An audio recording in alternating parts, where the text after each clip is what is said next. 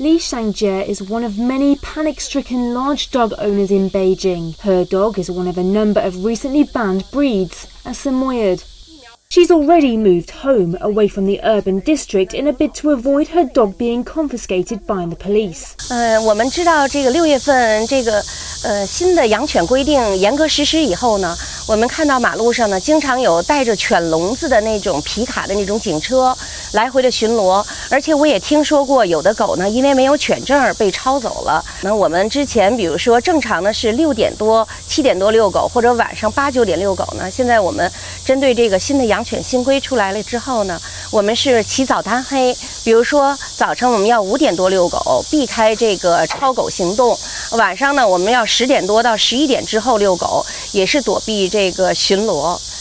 嗯、对于还有一个呢，就是我周围的这些朋友呢，他们也都非常担心狗被抄走，因为是我们是从感情上接受不了。我们呢非常希望呢政府出台一个合理的法规，或者相应的罚款，或者相应的对狗主人的限制措施，呃，出台这种相应的细则来规定我们如何合法的养犬。Starting from early June this year, the local government has strictly enforced a ban on large and vicious dogs, which actually dates back to regulations on dog ownership for Beijing municipality from 2003. 那么到二零零三年的时候呢，因为这个犬只数量的这个增加，包括这个人民水生活水平的一种提高吧，所以呢就出现了这种养狗呢，很多人因为高额的这费用就不办这儿，造成一个管理上的很大的缺失。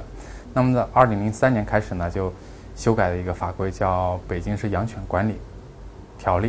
There has been a spate of dog attacks in China in recent years. In June this year, a six year old girl was killed by a Tibetan Mastiff in northeast China's Liaoning province.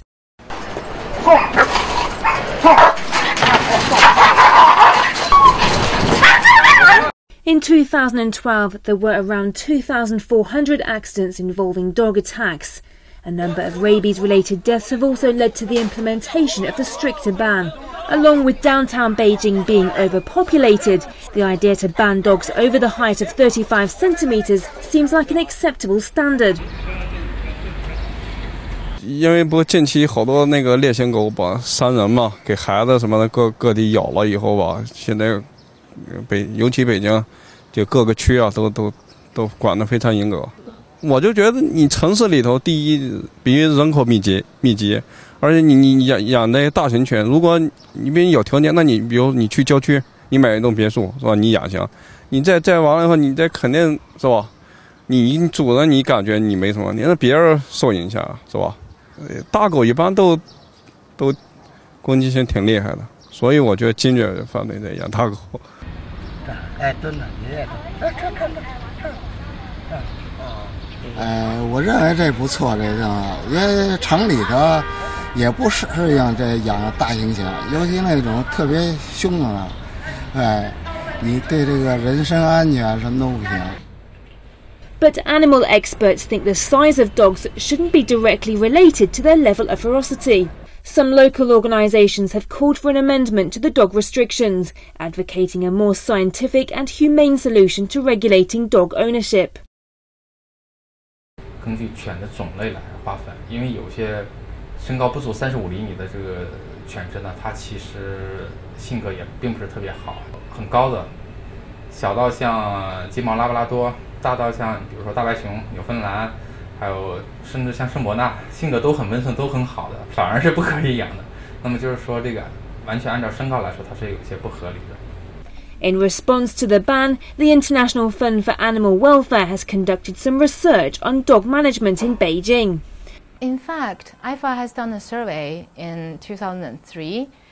Um, this concerning the citizens in whole Beijing area in rural and suburban areas. We found that only 2% of people states that they think big-sized dog severely affect, affect their life. And what really affects people's life would be dog poop in the city. But there's no effort made on this to make the city cleaner. And really, what's really important would be 74% of people states that they support stopping the size ban, and instead they they think um, asking the dog owners leash their dog and even wear a dog mask will be more positive. We, we understand that we're trying to solve the issues that's aroused by dog keeping. However, not allowing people to have certain dogs will not, will not solve the problem. It's the dog owners who are causing the problem. It's the dog owners being irresponsible. Animal experts have found that in many foreign countries there are stricter punishments for dog owners. Rather than confiscating the large dogs directly, they suggest promoting responsible dog ownership and punishment for irresponsible dog owners. 呃，其实目前来说呢，我认为全世界做这个犬只管理比较好的，还是一些欧洲一些国家，还有像日本、美国做的比较好。那么我们其实，在尤其像还有中东地区，像比如像以色列，他们这些国家呢，都有一个共性，在管理狗的问题上，其实是 主要是针对人的一种管理，而并非仅仅简单的说是对犬只的一种管理。呃，以美国为例，你如果是一个大型犬，你的犬只伤人，先不考虑那个经济的、民事的，这个狗的主人最高可以判九十天的监禁，可以对人有是有一种刑事的处罚的。那么还有像在以色列，他对这个养狗，他是要申请一个牌照，你是要具备这个资质，你对狗要有了解，而且你能甚至得承诺你不遗弃、不抛弃，还有很多的要求。According to research, there are about 75 million pets in China. City dogs amount to about 11 million, while rural dogs amount to 64 million.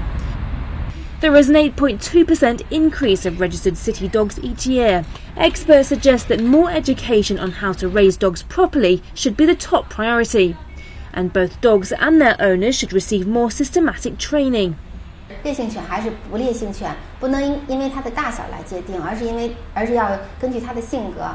那怎么判断呢？我觉得政府可能它也没有这没有这个办法判断，可是它可以委托相应的机构，比如说呃动物园也好，宠物培训学校也好，然后做这个宠物的这个培训。这种训练合格的狗可以发一个这个毕业证。